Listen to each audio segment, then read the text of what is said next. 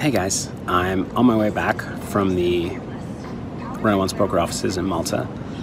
Um, it's a very productive trip. Um, went over a lot of things that I'll be sharing with you guys soon.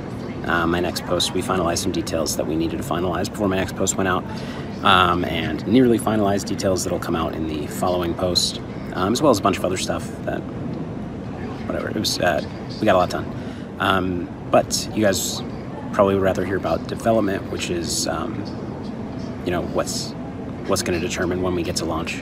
Um, and first, you know, when we get to have our next beta test. Our last beta test had uh, one major issue, which was a, lag between hands. That as more and more users were added and more time went by, uh, just increased all the way up to as much as 45 seconds. Um, long story short, um, you know, before this, every kind of major bug that we identified and, and made top priority, they fixed within a matter of days, at least over the past several months. It's been that way. So I expected a quick turnaround, and actually, we had a we had high hopes after a couple of days when we were able to replicate the bug on on our server, um, and uh, thought that we identified the cause. Anyways, long story short, we've identified several causes, and uh, the developers are working on each of them. It seems that right now the I, I think if we ran the test again, we'd have a similar bug, but it would be less severe. Also, there's there's a certain feature that is hidden right now in the test, but but is built in, and if we turn that off, um, the lag goes away.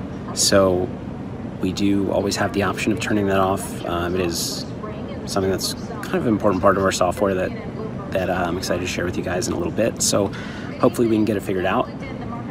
Uh, when we do, I'll let you know. We'll have a beta test. We'll scale up from there as quickly as we can.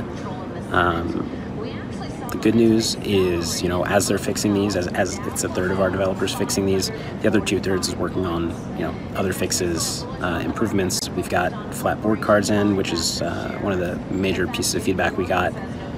Um, that's already done. So, all in all, uh, positive things are happening, and uh, I will let you know as soon as we have a date for our next beta. Um, and I'm pretty confident that, that once we do, who knows?